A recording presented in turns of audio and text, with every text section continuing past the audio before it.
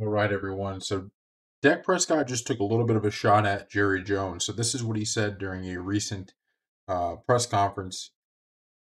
He said, "This is from Jon Machota. I stopped honestly listening to things."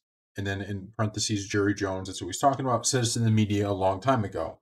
It doesn't really hold weight with me. This comes after he, you know, gave his thoughts on the upcoming contract. Jerry Jones, he said this. You could easily say, if you haven't seen it by now, you haven't seen it. I'm such a fan of Dak, and I appreciate all the great things that we all know are there, and I appreciate his work ethic probably more than anything. I can tell you how proud I am that we've got him this year to start this campaign. Dak's situation right now for me has more to do with our situation than it does with the merits of Dak Prescott being the quarterback of the Dallas Cowboys. I quit a long time ago getting bent on a shape about having anybody under contract or not. There are all kinds of things other than the contract that could change the level of him being under contract.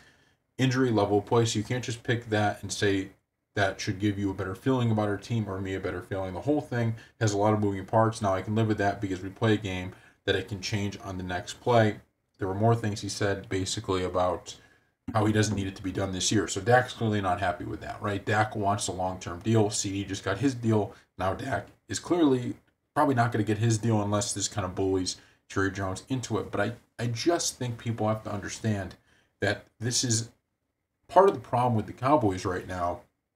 These public statements are what's aggravating, I think, to some of the players because this is brutal honesty from Jerry Jones. I mean, this is kind of the deal is like there isn't necessarily another owner in the league that's this honest about how he actually feels in that sometimes you know honesty like this players don't want to hear that you know this there's a lot of times when somebody's negotiating with someone where they think exactly what jerry jones is saying but they don't say it and hearing the guy that you're negotiating with say it publicly and basically eh, basically say you know it doesn't matter if we have you this year next year whatever we hope we have you but we don't know like this is a problem for them right and this is a problem for Dak. This is a problem for Jerry Jones. And I don't necessarily know how this is fixed without winning, right? I think winning is becoming the only way that this situation works. Meaning, if the Cowboys want a Super Bowl, Jerry will certainly be thrilled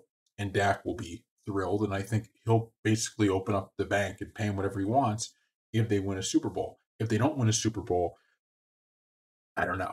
They have a, a playoff you know, similar to last year, Jerry may say bye bye.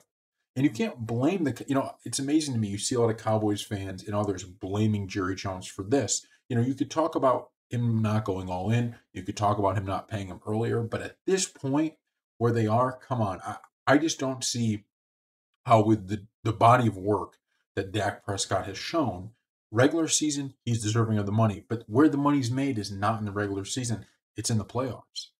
And it would be one thing if it was, you know, like, okay, we got a bunch of time here.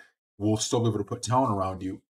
Signing Dak to a record deal, CeeDee and Micah to a record deal is going to hurt their ability to put talent on this roster. It just doesn't make a whole lot of sense. Now, if you win, that's different. Then you can move forward and you just say, look, he earned it. We're giving it to him. We think we could build off this. But certainly, I don't blame Dak for being upset. He has every reason to be upset. I also can't blame Jerry for being like, look, what are we supposed to do? Right? So thank you all for watching, and we will see you next time.